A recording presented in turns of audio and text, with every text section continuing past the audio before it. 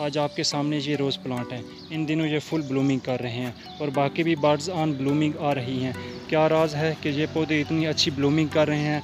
इसका राज और इसकी अच्छी सेहत का राज, एक तो ये है कि ये पौधे ग्राफ्टेड हैं। इनको ग्राफ्ट किया हुआ है और इनमें से अक्सर जो पौधे हैं वो डेविड आस्टन की वैरायटी हैं। तो आपको क्या करना है कि आपके पौधे भी इसी तरह ब्लूमिंग रहें। करना वो है जो आपको हम आज बताने जा रहे हैं। सबसे पहले तो आपने ये करना है कि ये जो नीचे, गुलाब के नीचे शूटर नज़र आ रहे हैं। इनको आपने काट देना है। जितनी भी जो शूटर नज़र आ रहे हैं, इनको काट देना है। इससे ये होगा आपके आपके पौधे पर एक तो फ्लावरिंग भी ज़्यादा आएगी और आपका पौधा हेल्दी भी होगा। दूसरा आपने ये करना है कि हर हफ़्ते आपने हर हफ़्ते अपने गुलाब के पौधे को एक टीस्पून एनपीके देना है। एक टीस्पून एनपीके या दस दाने डीएपी के देने हैं। इससे इंशाल्लाह आपके पौधे पर फ्लावरिंग भी ज़्यादा आएगी।